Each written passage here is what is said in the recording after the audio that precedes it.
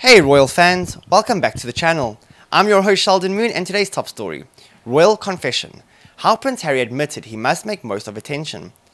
Harry is William's younger brother and therefore behind all of William's children in the line of succession.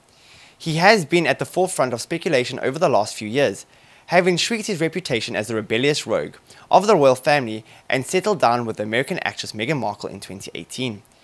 Harry has also been in the spotlight amidst rumours of a rift between him and his brother, rumours he appeared to confirm during the ITV documentary which aired in October.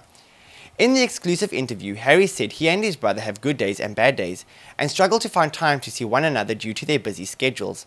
In her 2018 biography, Harry, Conversations with the Prince, Angela Levin looked at how the Duke of Sussex approaches his public life.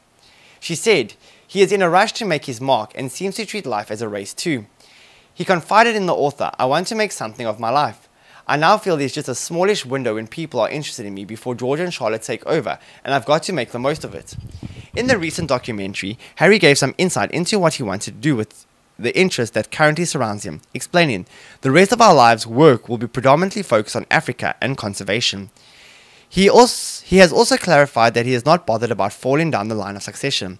Ms. Levin spoke to Harry shortly after the birth of his niece Charlotte in May 2015 and asked if he minded losing his place in the royal hierarchy. He replied, The reason I am now fifth is because of my nephew and niece, and I could never wish them away. They're the most amazing things ever. Yet, it's only recently that Harry appeared to have accepted his royal role.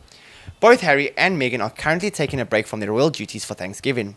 They will not be spending Christmas at Sandringham with the rest of the royal family this year, an annual get together which Harry has attended every year aside from when he was serving in Afghanistan.